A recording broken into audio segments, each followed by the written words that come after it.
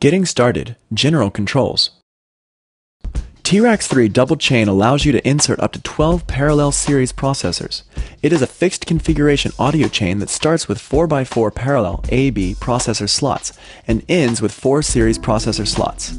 The processor slots are numbered 1 to 4 A and B for the two initial parallel lines of the chain, while the four final series processor slots are numbered 5 to 8.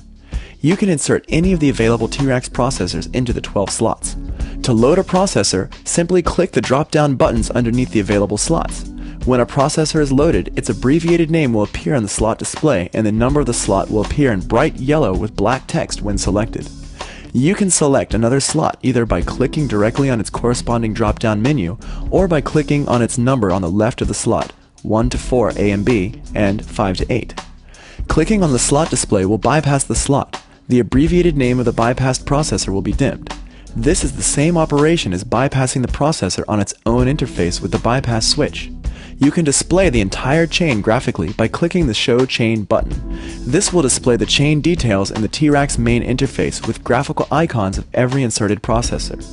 Clicking on any of these graphical icons in the chain will select it, and the interface will switch to display the selected processor. Compare function. The compare function allows the comparison between the original file and the one processed with the selected T-RackS chain or processors. Additionally, a volume knob is available to set the volume of both the processed and the original audio, so you can evaluate the two versions by setting the same volume level without being misled by different volume levels. To activate the compare function, click on the compare button. When the button below is off, you will hear the non-processed original audio. When the button below is on, you will hear the processed audio.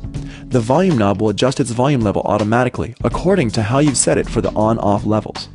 By clicking the on-off button once, you will switch between the original and the processed audio, and you will be able to set the volume of the two at comparable levels to make effective decisions on the mastering settings you have applied.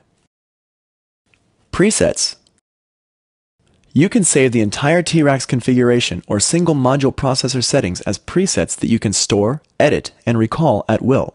To load a preset in T-RackS, click on the preset display and choose from the drop-down menu, or click the up-down arrows and scroll through the available presets. ABCD settings. The ABCD settings are four different configurations of any of the settings of the entire T-RackS chain and processors that can be saved and recalled on the fly while working on the audio. To save the current configuration to a new ABCD set, Simply click the Copy To button.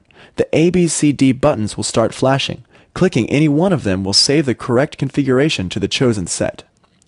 You will be able to quickly compare between up to four different setups without pausing your audio, a function that is particularly useful while fine-tuning sonic details. Preferences By clicking on the Pref button, the T-RackS Preferences window will be displayed. Lowest latency. This setting is to be used, for example, when you're using T-RackS 3 to process a real-time recording monitor mix. Oversampling.